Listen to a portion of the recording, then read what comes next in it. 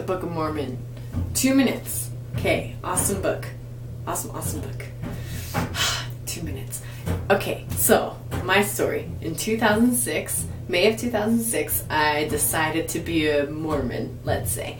And the bishop, who was the person that I kind of needed to talk to about some things, he um, gave me a couple instructions as I was trying to repent of all the sins I had committed previously. And those instructions were to pray and read the Book of Mormon every single day. So, in doing so, I came to know my Savior. You see this right here? It says, Another Testament of Jesus Christ. I had no idea who Jesus Christ was.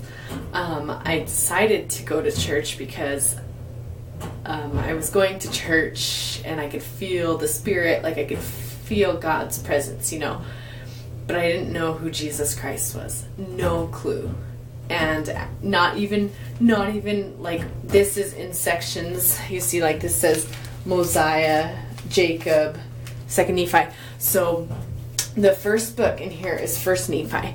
I wasn't even done with First Nephi before I started remembering who Jesus Christ was.